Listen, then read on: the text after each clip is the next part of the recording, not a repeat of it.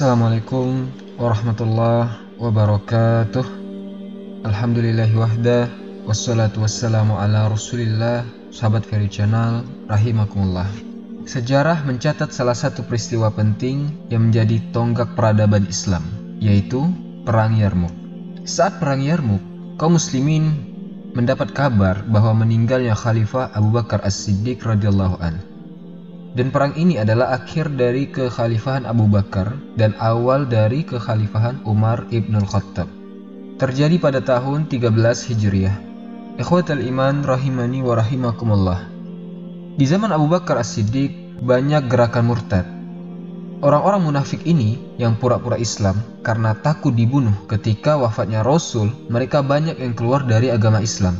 Nah, Abu Bakar As-Siddiq pun memerintahkan untuk memerangi mereka ada 11 pasukan dikirim Abu Bakar untuk memerangi mereka. Di antara yang dikirim Abu Bakar menjadi komandan adalah Khalid ibn Walid. Kita tahu Khalid ibn Walid adalah komandan perang yang tidak pernah kalah perang, baik saat masih kafir maupun sudah masuk Islam. Tak butuh waktu lama Khalid ibn Walid dan pasukannya membereskan mereka semua. Maka selesailah masalah orang-orang murtad di Jazirah Arab. Kemudian Abu Bakar mengirim lagi Khalid ibn Walid ke Irak dengan Musannah bin Harisah tabi'in dikirim ke daerah Irak, dulunya adalah Persia, sementara yang dikirim ke Syam oleh Abu Bakar empat pasukan. Ini sebagai mukaddimah sebelum peperangan Yarmuk. Yarmuk itu adanya di Syam. Jarak antara Irak ke Syam itu pada zamannya kurang lebih butuh waktu sekitar satu bulan perjalanan.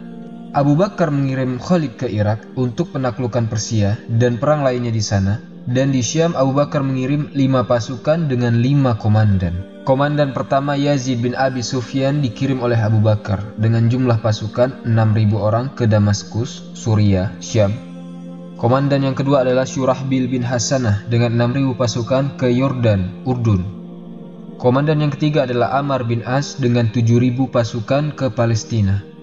Komandan yang keempat Abu Ubaidah ibn al-Jarrah dengan 5.000 pasukan. Yang kelima, Ikrimah bin Abu Jahal kita sudah tahu kisahnya Ikrimah bin Abu Jahal, kisah yang luar biasa.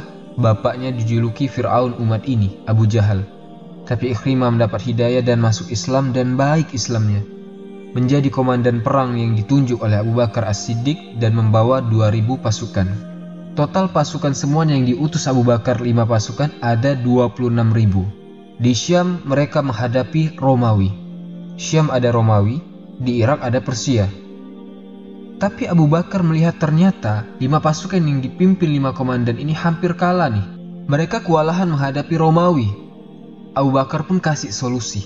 Apa solusinya? Yaitu mengutus pedang Allah dari Irak ke Syam. Akhirnya Abu Bakar kemudian nulis surat ke Khalid ibn Walid dari Abdullah bin Abi Kuhafa kepada Khalid ibn Walid. Isi surat dari Abu Bakar segera ke Syam bergabung dengan pasukan-pasukan yang ada di Syam dalam waktu yang singkat secepat-cepatnya. Karena saudara-saudaramu di Syam, mereka dalam kondisi mengkhawatirkan. Kalau tidak segera dibantu, khawatir kalah. Karena Romawi Rum pasukannya sangat banyak. Khalid ibn Walid mengumpulkan 10.000 pasukan. Kata Khalid ibn Walid, kita akan pergi ke Syam. Tapi Abu Bakar minta kita segera ke Syam, segera. Sedang Irak ke Syam, kalau lewat jalan umum, jalan biasanya butuh waktu perjalanan satu bulan. Sementara di sana, saudara kita sedang membutuhkan bantuan.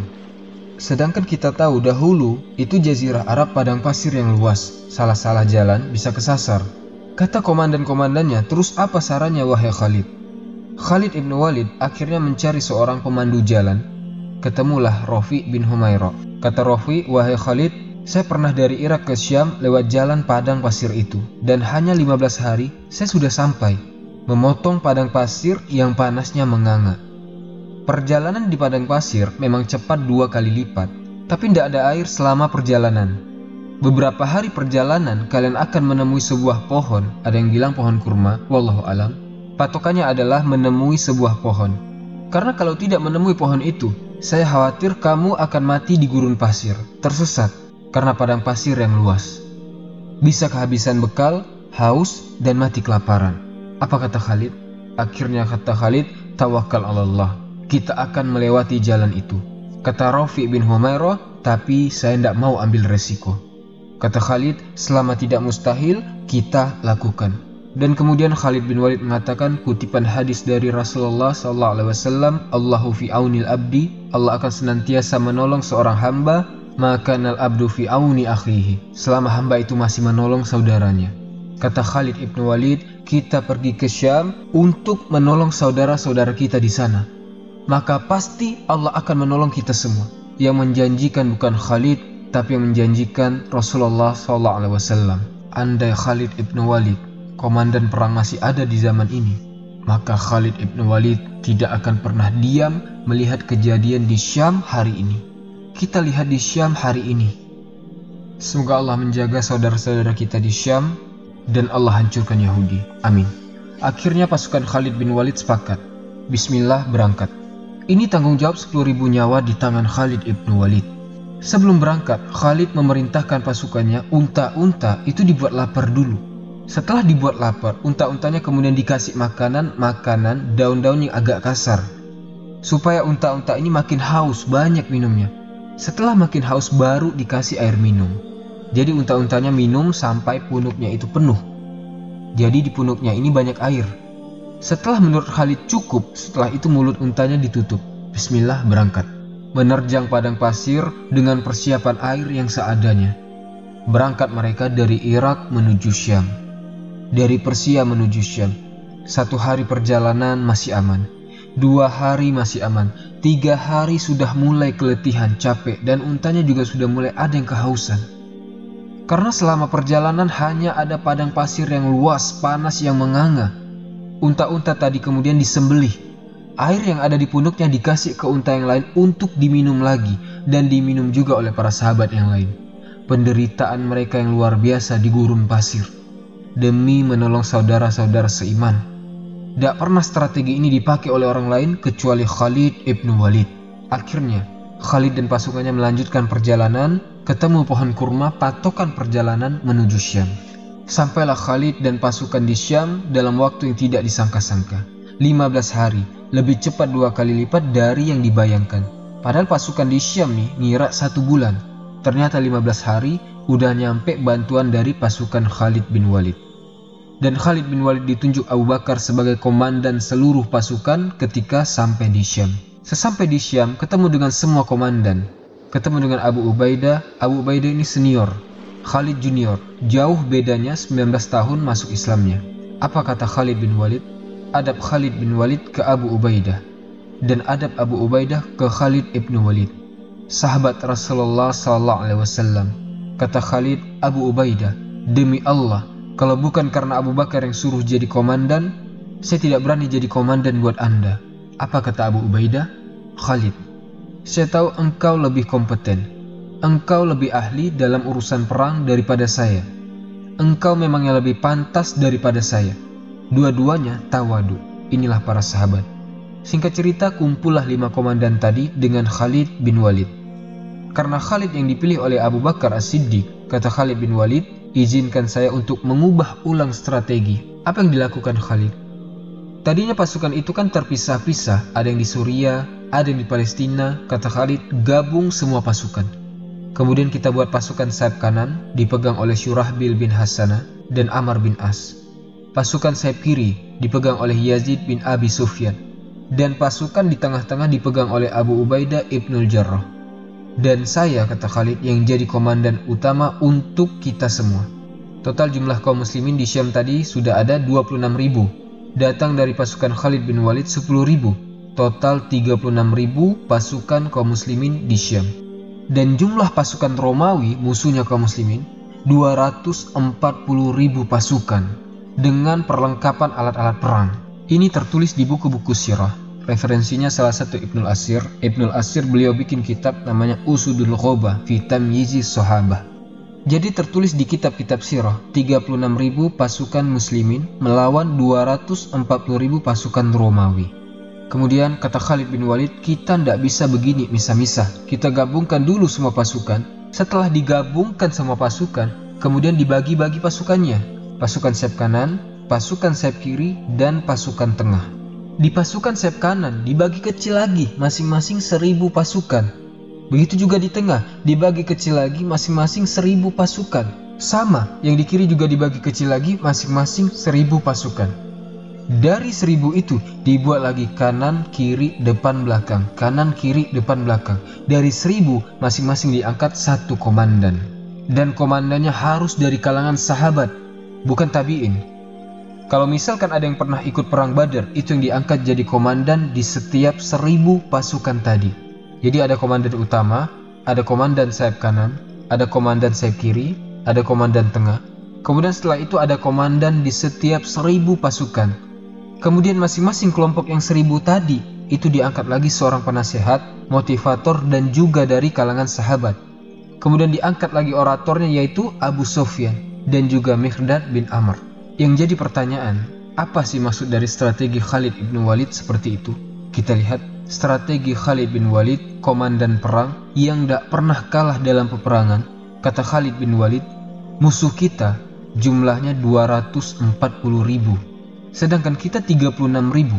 Dari 240 ribu itu, mereka pasti akan menggunakan strategi pasukan berkuda di depan.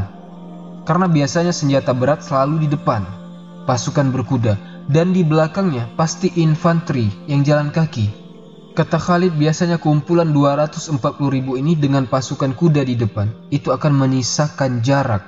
Pasukan kudanya akan jalan duluan, Kemudian di tengah-tengahnya itu akan ada jarak antara pasukan kuda dengan pejalan kaki, infanteri. Kata Khalid bin Walid, jarak inilah yang akan kita usahakan terus untuk diperlebar. Pasukan kuda supaya makin ke depan dan infanteri supaya makin ke belakang. Dan kalau sudah dipisah antara pasukan senjata berat dan senjata ringan, antara kavaleri dan infanteri, kita singkirkan dulu pasukan kavalerinya, pasukan berkudanya, Makanya dibuat tadi pasukan kecil-kecil supaya bisa masuk ke tengah-tengah pasukan musuh. Jadi, kalau bisa masuk ke tengah barisan musuh, yang satu dorong musuh ke belakang, yang satu hajar di depan, jadi dari depan nih diserang, dari belakang juga diserang. Biar jarak kavaleri dan infanteri musuh semakin jauh, supaya mereka keluar dari medan pertempuran. Khalid bin Walid bikin strategi seperti tadi.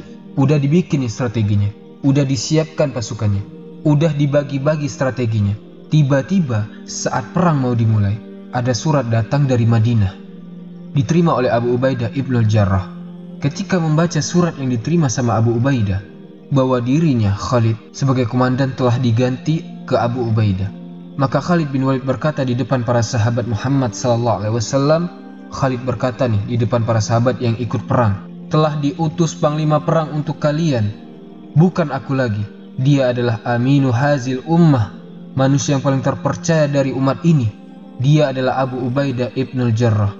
Abu Ubaidah ibnul Jarrah dijamin masuk surga oleh Rasulullah. Setelah itu Abu Ubaidah menyambung omongan Khalid dan berkata, Sami tu Rasulullah yakul. Adapun aku, aku juga pernah mendengar Rasulullah SAW bersabda, Khalidun saifun min suyufillah. Khalid ibnu Walid pedang di antara pedang-pedang Allah, nikmafatul asyirah, sebaik-baik saudara adalah Khalid saling memuji, tidak sikut-sikutan karena mereka dulu berjuang untuk Allah bukan untuk jadi tokoh. Itulah para sahabat saling memuji. Kita sudah tahu ya kenapa diganti sama Umar bin Khattab. Karena Umar ini tidak mau orang-orang itu mindsetnya setiap Khalid memimpin perang pasti menang. Jadi mengkultuskan Khalid. Ini yang dikhawatirkan sama Umar bin Khattab. Ikhwatal iman rahimani wa rahimakumullah dan Abu Ubaidah pun saat itu menyerahkan kepada Khalid untuk mengatur strategi peperangan Yarmuk. Khalid kasih masukan, Ya Abu Ubaidah, ini usyiroka ro'yan. Saya ingin memberitahu engkau satu pendapat atau masukan. Kata Abu Ubaidah, Kul ya Khalid. Khalid, sampaikan pendapatmu seperti apa. Saya siap dengar dan saya siap taat. Kata Khalid bin Walid ke Abu Ubaidah, saran saya, di awal pertempuran, jangan mengeluarkan semua kekuatan besar. Kenapa? Karena Romawi 240 ribu itu pasti bakal mengeluarkan kekuatan terbesar mereka di awal. Karena mereka juga bakal main perang psikologis. Kalau kita sudah kalah di awal, mereka pasti semakin semangat. Kata Khalid, biarkan mereka melihat kalau kita itu kalah. Mereka pasti akan menyerang dengan sangat luar biasa. Jangan dulu keluarkan kekuatan terbesar kita. Karena kalau mereka sudah melihat kita kalah, kita lemah di awal-awal, mereka akan lalai. Dan saat mereka lalai, kemudian kita akan coba nyerang mereka dengan kekuatan penuh. Dan Jenderal Akram, beliau menulis tentang Khalid ibnu Walid bahwa Khalid ibnu Walid itu kalau jalan mengendap-endap. Tapi kalau sudah melompat, menyerang bagaikan singa. Akhirnya, sesuai dengan saran Khalid, di awal peperangan, kaum muslimin perang seakan-akan mau kalah. Banyak menahan serangan musuh. Musuh nyerang semangat luar biasa, sampai akhirnya kaum muslimin mundur pelan-pelan. Orang-orang Romawi itu bangga, kita menang nih, merasa menang mereka. Ketika sore, matahari mau tenggelam, peperangan berhenti. Dulu perang seperti itu. Mulai dari pagi, saat matahari tenggelam berhenti perang. Malamnya istirahat, besoknya lanjut lagi. Singkat cerita, setelah perang sangat sengit hari pertama, kedua, ketiga, tiba-tiba ada jenderal Romawi namanya Mahan. Mahan ini ingin ketemu dengan Khalid. Yang dicarinya Khalid. Karena ditakuti oleh mereka adalah Khalid ibnu Walid. Mahan datang kepada Khalid dan mengatakan, Ya Khalid, kami tahu kalian itu bangsa Arab. Bangsa yang di negerinya tidak ada apa-apa. Tandus, gersang. Kalian ke sini cari makan kan? Sudah pulanglah bawa prajuritmu, kita ndak usah perang. Hitung semua prajuritmu. Setiap prajuritmu kami kasih 10 dinar. Tahun depan kamu ke sini datang lagi, kami kasih lagi 10 dinar per orang. Ada juga yang mengatakan per orang 1000 dinar. Kemudian apa yang dikatakan Khalid ibn Walid kepada Jenderal Romawi? La ya Mahan, tidak ya Mahan. Bukan karena itu kami datang kemari wahai Jenderal. Wallahi, kami adalah bangsa peminum darah dan kami mendengar darahnya orang Romawi adalah darah terlezat di muka bumi. Maka kami datangkan kepada kalian kaum yang mencintai kematian sebagaimana kalian mencintai kehidupan. Takut Jenderal Romawi. Gemetar dia mendengar perkataan Khalid ibnu Walid. Mahan pulang dalam kondisi ketakutan melihat Khalid yang serius, ngeri dia. Khalid bin Walid, singa, benar-benar singa. Mahan pulang ketemu dengan panglima komandan lain namanya Georgia. Georgia kemudian ingin ketemu Khalid, penasaran sama Khalid. Komandan yang tidak pernah kalah perang nih. Ketemulah dia sama Khalid, ditanya sama Georgia. Khalid, saya mau nanya, tapi jawab dengan jujur. Silahkan, kata Khalid. Saya mendengar bahwa orang-orang Islam itu menjuluki kamu dengan sebutan pedang Allah. Apakah Tuhanmu menurunkan pedang kepada Muhammad Sallallahu Alaihi Wasallam terus diberikan kepadamu? Tidak, kata Khalid.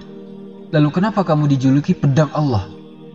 Kata Khalid, kami adalah kaum jahiliyah dulunya. Allah datangkan kepada kami utusan seorang nabi kepada kami, kemudian kami beriman kepadanya, mentauhidkannya dan kami berperang di jalan Allah sejak itulah kami dipanggil pedangnya Allah itulah jawaban Khalid ibnu Walid kata Georgia seperti apa cara orang itu masuk Islam kata Khalid tinggal mengucapkan syahadat asyhadu an la ilaha illallah wa asyhadu anna Muhammad rasulullah ditanya lagi sama Georgia apakah kalau saya masuk Islam saya bakal seperti kalian aku numis lukum setelah saya syahadat apa saya akan seperti kalian Kata Khalid ibnu Walid, boleh jadi engkau lebih baik dari kami. Kata Georgia, saya lebih baik. Kata Khalid, al-ibro laisa biman sabak, walakin biman sodak. Ini bukan urusannya siapa yang dulu-duluan, tapi ini urusannya siapa yang paling jujur. Kata Georgia, buktinya apa ya Khalid? Kata Khalid ibnu Walid, saya terlambat masuk Islamnya tapi saya diangkat oleh Rasulullah SAW menjadi komandan bagi kaum muslimin. Boleh jadi, kalau engkau masuk Islam, engkau akan lebih baik dari kami. Lama-lama Georgia ini makin tertarik kepada Islam. Komandan Romawi ini masih kafir. Kata Georgia, tolong bimbing saya ya Khalid, bagaimana saya bisa masuk Islam. Akhirnya Georgia dibimbing oleh Khalid ibn Walid dan komandan Romawi ini masuk Islam di tangan Khalid bin Walid. Di tengah peperangan Yarmuk, setelah masuk Islam, Georgia dibawa ke tendanya Khalid, kemudian diajak sholat sunnah. Dan luar biasa, besoknya perang lagi dan komandan Georgia berada di barisan kaum muslimin. Masuk Islamnya berapa hari? Baru sehari. Dan besoknya, setelah mulai perang lagi, mati. Georgia mati syahid. Menjadi syahid, insya Allah. Perang Yarmuk pecah lagi, berkecamuk lagi, sampai akhirnya kaum muslimin itu terdesak karena serangan pasukan Romawi. Kemudian Ikrimah bin Abi Jahal, kata Ikrimah, Annalazi harabtu Muhammadan tiwala umri wasabattu. Saya adalah orang yang memerangi Rasulullah bertahun-tahun dan saya teguh dalam memerangi Muhammad. Apakah saya sekarang memerangi Romawi dan saya kabur? Kata Ikrimah bin Abi Jahal, Man yubayyi anni alal maut. siapa yang siap berbaiat dengan saya untuk mati menghadapi Romawi? Akhirnya, kumpul-kumpul-kumpul 400 orang siap jihad bersama Ikrimah. Mereka 400 orang masuk ke barisan pasukan Romawi dan berhasil mengeksekusi mati 3000 pasukan Romawi. 400 pasukan muslimin meninggal, 3000 pasukan Romawi juga meninggal. Yang luar biasa, saat Ikrimah dalam kondisi sakaratul maut, ada seorang sahabat bernama Abdullah. Abdullah, saya lagi mencari sepupu saya untuk memberikan minum kepadanya. Dan saya temukan dia berada di pasukan kaum muslimin yang sakaratul maut. Kemudian saya bawa air itu. Pada saat saya mau kasih minum saudara saya, maka dia mendengar. Dan saya juga mendengar suara muslimin yang lain di sebelahnya mengatakan, Air, air, air. Lalu dia berkata kepada saya, Wahai sepupuku, berikanlah kepada saudara kita itu dulu. Kemudian saya pun membawa air ke sana ketika saya mau kasih minum kepadanya. Ternyata terdengar suara Ikrimah. Ikrimah mengatakan air, air, air. Kemudian orang ini mengatakan berikanlah air ini kepada orang itu dulu, Ikrimah. Pada saat tiba di Ikrimah, baru mau dituangkan air, Ikrimah sudah meninggal, mati syahid. Kemudian saya kembali pada orang kedua, juga sudah mati syahid. Dan saya kembali kepada sepupu saya, sama ia juga sudah meninggal, mereka syahid. Inilah para sahabat radhiyallahu anhum. Mereka lebih mementingkan saudaranya daripada diri mereka sendiri. Inilah kisah yang tidak mungkin ada lagi kisah-kisah seperti ini, kisah yang hanya ada pada sahabat-sahabat Rasulullah sallallahu alaihi wasallam. Ikhwatal iman rahimani wa rahimakumullah. Perang terus berkecamuk. Ketika Khalid melihat Romawi sudah mulai terdesak, mereka terkepung di antara sungai. Khalid bin Walid seperti tadi strateginya, berhasil masuk di antara kavaleri dan infanterinya musuh, kemudian semakin jauh terpisah kavaleri dan infanterinya musuh, baru setelah itu dihabisi 70 ribu pasukan Romawi, tewas semuanya di pasukan kaum muslimin. Kalau bukan ditulis dalam buku sirah, mungkin kita susah percaya. Tapi dalam buku sirah semua menyebutkan 36 ribu berhasil mengeksekusi 70 ribu sampai 120 ribu pasukan Romawi. Adapun kaum muslimin yang meninggal cuma tiga ribuan orang saja. Bayangkan betapa hebatnya pendahulu-pendahulu kita. Musuhnya berkali-kali lipat jumlahnya yang mati. Kurang lebih sepertiganya pasukan dikalahkan. Dan yang muncul di sini sosok Khalid ibn Walid dan komandannya adalah Abu Ubaidah ibn Jarrah. Ini adalah sejarah peperangan Yarmuk, yang mana ini adalah perang inti, perang yang paling besar musuhnya. Perang kedua melawan Romawi. Dahulu perang Mu'tah. Nah, ini perang Yarmuk. Bangsa Romawi dikalahkan oleh kaum muslimin dari negeri Syam. Peperangan ini mengubah tatanan peta kaum muslimin di dunia ini, yang mana sekarang sungai Yarmuk berada di utaranya Yordania. Perang yang luar biasa, tidak masuk akal. Tapi itulah peperangan-peperangan kaum muslimin. Kaum muslimin menang perang bukan karena jumlah. Dan ingat, dahulu pendahulu-pendahulu kita kaum muslimin adalah singa-singa dalam peperangan. Semoga kelak kaum muslimin akan bangkit melahirkan singa-singa peperangan yang tak gentar melawan musuh-musuh Allah. Semoga kisah ini ada manfaatnya. Subhanakallahumma bihamdika asyhadu an la ilaha illa ant astaghfiruka wa atubu ilaik. Wallahu taala alam. Assalamualaikum warahmatullahi wabarakatuh.